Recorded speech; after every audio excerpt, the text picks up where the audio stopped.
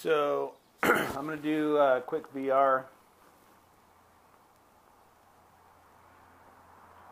I don't do a lot of VRs, but uh, every once in a while, someone's doing a contest, and uh, that seems interesting to me, or at least find their videos interesting, interesting enough to where it motivates me to do a VR. I've been meaning to do a VR uh, for this one for a while. I just keep forgetting and whatnot, but. Uh,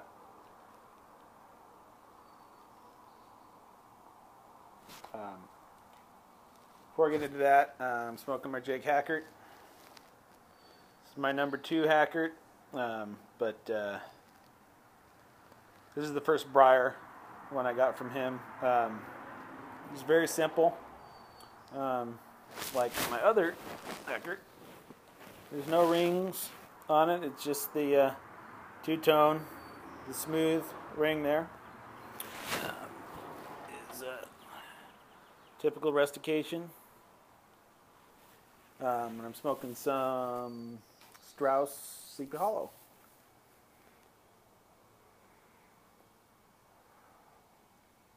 So I'm under my uh, covered patio right now. Um, it's not raining or anything, but uh, I am sheltered from the wind, so it's not as pretty of a view as my other one, as my other view out there. But what, bud?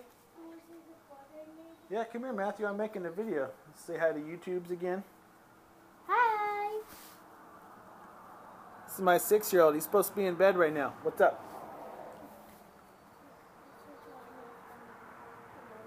Awesome. Very cool, bud. All right, go get in bed. Love you. Good night. And you should go to bed six.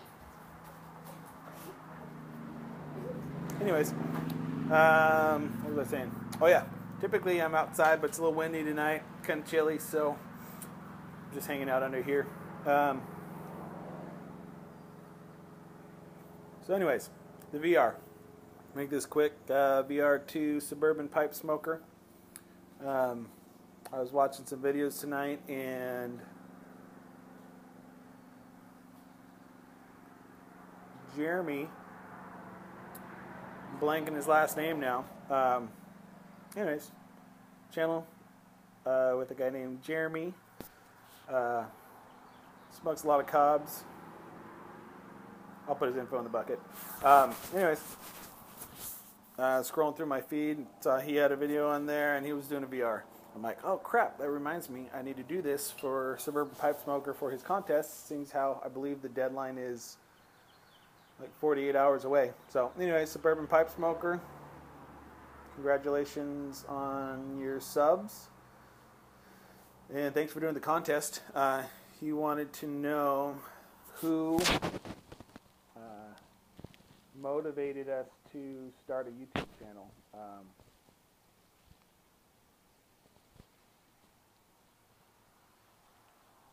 and uh, even though uh, a lot of people might say this, um, but I believe that's it's a credit to the individuals. Um, that would be the Dagners. Um, I've been stalking YouTube pipe presenters for probably about six months or so, um, and obviously following the Dagners on Instagram, and Dagner Pipes came out, and anyways, they had uh, their YouTube IG contest um, was the motivator for me in to get on here. Um, I'd always I'd want I'd li- I liked the uh, YouTube pipe community. I thought it was cool. Uh, the people on here are awesome, super friendly, super nice. Um, I find most of them pretty interesting. Uh, but I never felt I had a reason to start a channel.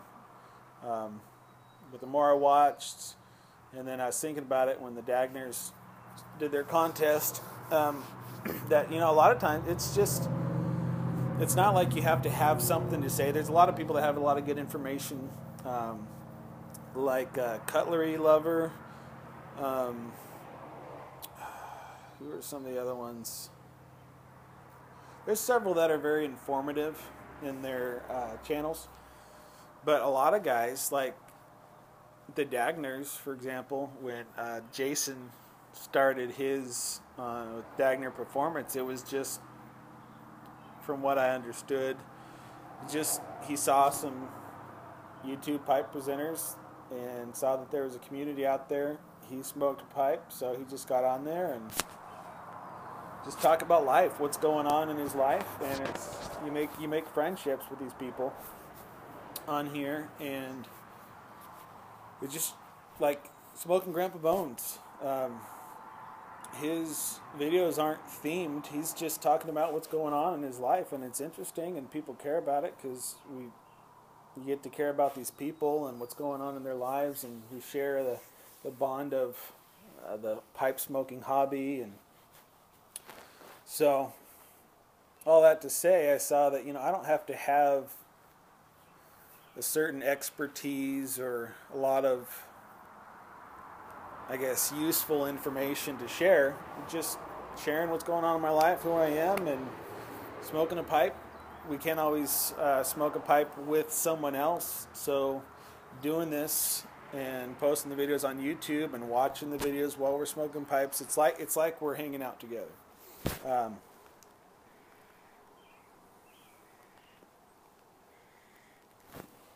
but uh, yeah, so Dagners,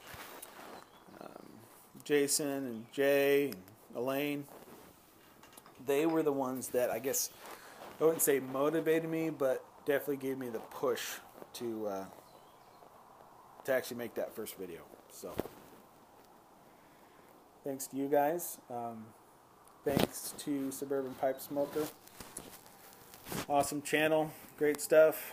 Uh, and I think that's pretty much it. Uh, I keep saying I'm going to do an update to my pipe collection, and I definitely will. Um, soon, hopefully this weekend. I don't know, it's Mother's Day weekend, so we'll see if I have the time. But uh, I'd like to make another video. I need to make a pipe rack because I got pipes just kind of laying in piles on the shelf in my cellar. So definitely need to do something about that, get them organized, and uh, yeah. But um, I'm really curious, even even if I don't win the winnings, excuse me, for this contest, one of the things he's given away like tobacco and some other cool stuff. Uh, but the thing, honestly, that interests me the most is pipe cleaners. He's going to give away some pipe cleaners. He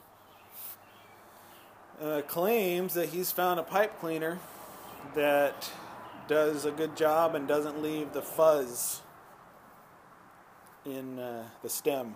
And I don't know about you guys. I usually try to blow it out pretty clean, but you can't always get it all necessarily. And I can't stand lighting up a pipe and sucking in not only a little bit of tobacco, but like the fuzz from the pipe cleaners. Uh, it's really annoying. So, if he's got some, got the line on some pipe cleaners that he uses that don't do that, awesome. Looking forward to at least seeing what those are. So uh, maybe I can track some down. But uh,